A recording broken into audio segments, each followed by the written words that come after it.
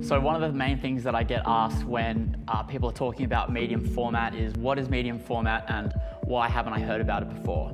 And medium format is a type of camera that essentially has a much larger sensor than that of your standard Canon, Nikon or Sony cameras. The larger sensor lets more light in and allows the lenses to be used in a way that's impossible with other cameras. Essentially, it creates a depth of field and a higher level of detail and separation between the foreground and the background. It's unmistakable once you know what a medium format camera looks like and for print, highly visible digital campaigns and images that need a lot of digital manipulation, medium format is the best option for that sort of campaign. Today I'm shooting with a Fujifilm GFX 100 and one of the reasons that these cameras are sort of rare and aren't often used by uh, photographers is that first of all, they're very expensive.